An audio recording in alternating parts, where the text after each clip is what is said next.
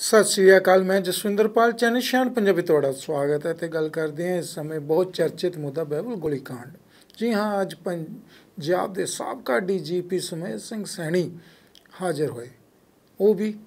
ਜਿਹੜੀ ਸਿੱਟ ਬਣੀ ਹੈ। ਤੁਹਾਨੂੰ ਦੱਸ ਦਿੰਨੇ ਕਿ 2015 ਵਿੱਚ ਸ੍ਰੀ ਗੁਰੂ ਗ੍ਰੰਥ ਸਾਹਿਬ ਦੀ ਇੱਕ ਪਾਵਨ ਬੀਟ ਚੋਰੀ ਹੋਈ ਸੀ, ਜਿਸ ਤੋਂ ਬਾਅਦ, ਉਹਨਾਂ ਨੂੰ ਲੱਭਣ ਤੋਂ ਬਾਅਦ 2015 ਵਿੱਚ ਹੀ ਉਹਨਾਂ ਦੇ ਪੰਨੇ ਮਿਲੇ ਜਾਨੀ ਕਿ ਉਹਨਾਂ ਨੂੰ ਅੰਗ ਸਾਫ਼ ਕਿਹਾ ਜਾਂਦਾ ਹੈ ਤੇ ਉਹ ਮਿਲੇ। ਜਿਸ ਤੋਂ ਬਾਅਦ ਪੰਜਾਬ ਦੀ ਸਿਆਸਤ ਭਾਗੇ ਤੇ ਪੂਰਾ ਖਾਲਸਾ ਪੰਥ ਵਿੱਚ, ਖਾਲਸਾਈ ਲੋਕਾਂ ਵਿੱਚ ਗੁੱਸੇ ਦੀ ਲਹਿਰ ਦੌੜ ਪਈ ਤੇ ਉਸ ਤੋਂ ਬਾਅਦ ਪ੍ਰਦਰਸ਼ਨ ਹੋਣ ਲੱਗੇ ਫਰੀਦਕੋਟ ਦੀ ਘਟਨਾ। ਉਸ ਤੋਂ ਬਾਅਦ ਜਿਹੜੇ ਪ੍ਰਦਰਸ਼ਨ ਹੋਏ ਤਾਂ ਉਹਦੇ ਵਿੱਚ ਇੱਕ ਬਹਿਵਲ ਗੋਲੀ ਕਾਂਡ ਹੋਇਆ ਜਾਨੀ ਕਿ ਬਹਿਵਲ ਕਲਾਂਚ ਗੋਲੀ ਕਾਂਡ ਮਤਲਬ ਕਿ ਪੁਲਿਸ ਵੱਲੋਂ ਉਹਨਾਂ ਲੋਕਾਂ ਤੇ ਗੋਲੀ ਚਲਾਈ ਗਈ, ਜੋ ਉਸ ਸਮੇਂ ਅੰਗ ਸਾਹਿਬ ਦੇ ਜਿਹੜੀ ਗੁਰੂ ਗ੍ਰੰਥ ਸਾਹਿਬ ਹੈ, ਉਹਨਾਂ ਦੀ ਬੇਅਦਬੀ ਨੂੰ ਲੈ ਕੇ ਜਿਹੜੀ ਘਟਨਾ ਵਾਪਰੀ, ਉਹਦਾ ਰੋਸ਼ ਜਤਾ ਰਹੇ ਸਨ, ਇਨਸਾਫ ਦੀ ਮੰਗ ਕਰ ਰਹੇ ਸਨ ਤੇ ਉਸ ਸਮੇਂ ਦੇ ਸਾਬਕਾ ਡੀਜੀਪੀ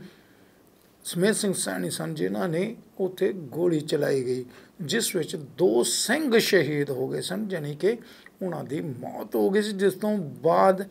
ਇਹ ਸਭ ਸਿਆਸਤ ਗਰਮ ਹੋ ਗਈ ਸੀ ਤੇ ਤੁਹਾਨੂੰ ਦੱਸ ਦਿੰਨੇ ਪ੍ਰਕਾਸ਼ ਸਿੰਘ ਬਾਦਲ ਜੋ ਕਿ ਉਸ ਸਮੇਂ ਦੇ ਪੰਜਾਬ ਦੇ ਮੁੱਖ ਮੰਤਰੀ ਸਨ ਤੇ ਉਹਨਾਂ ਨੇ ਵੀ ਉਂਗਲ ਉਠਣੀ ਸ਼ੁਰੂ ਹੋ ਗਈ ਕਿਉਂਕਿ ਕੋਈ ਵੀ ਗੋਲੀ ਕਾਂਡ ਉਨੀ ਦੇਰ ਤੱਕ ਨਹੀਂ ਮੰਨਿਆ ਜਾਂਦਾ, ਜਿੰਨੀ ਦੇਰ ਤੱਕ ਮੁੱਖ ਮੰਤਰੀ ਨਿਵਾਸ ਤੋਂ ਉਹਦੀ ਇਜਾਜ਼ਤ ਨਾ ਮਿਲੇ। ਤੇ ਦੂਸਰੇ ਸਵਾਲ ਇਹ ਵੀ ਉੱਠਦੇ ਰਹੇ ਨੇ ਇਸ ਤੇ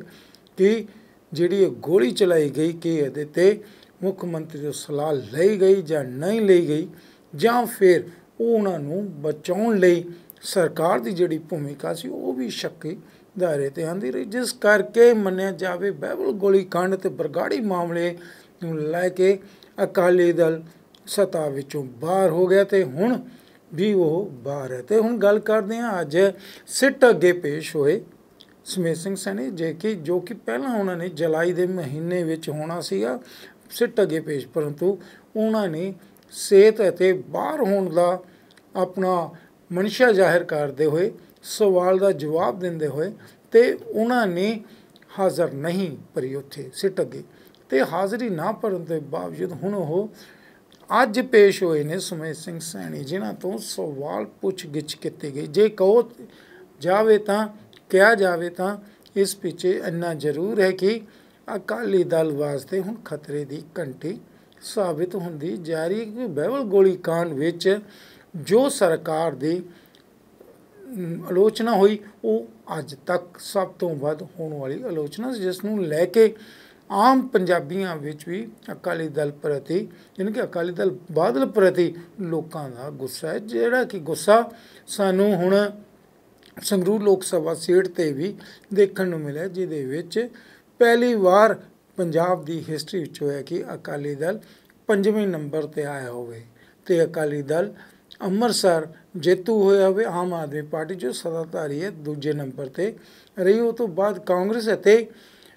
ਬੀਜੇਪੀ ਦੇ ਵਿੱਚ ਇਹ ਚੱਲਦਾ ਰਿਹਾ ਤੇ ਆਖਰ ਸਭ ਤੋਂ ਫਿਸਲ ਕੇ ਜੇ ਦੇਖਿਆ ਜਾਵੇ ਤਾਂ ਅਕਾਲੀ ਦਲ ਨੂੰ ਨੁਕਸਾਨ ਪਹੁੰਚਿਆ ਤੇ ਹੁਣ ਜਿਹੜੇ ਸਿੱਟ ਅੱਗੇ ਪੇਸ਼ ਹੋਏ ਨੇ ਸਮੇਤ ਸਿੰਘ ਸੈਣੀ, ਉਹ ਕੀ ਜਵਾਬ ਦਿੰਦੇ ਨੇ? ਕਿ ਸੱਚਮੁੱਚ ਉਹ ਅਕਾਲੀ ਦਲ ਬਾਦਲ ਵੱਲ ਉਂਗਲ ਰੱਖਣਗੇ ਜਾਂ ਫਿਰ ਉਹਨਾਂ ਨੂੰ ਬਚਾਉਣ ਦਾ ਸਾਧਨ ਕਰਨਗੇ? ਇਹ ਜ਼ਰੂਰ ਹੈ ਕਿ ਉਹਨਾਂ ਅੱਜ ਪੇਸ਼ੀ ਹੋਈ ਹੈ ਤੇ ਉਹਨਾਂ ਤੋਂ ਸਿੱਟ ਨੇ ਜਵਾਬ ਵੀ ਪੁੱਛੇ ਨੇ।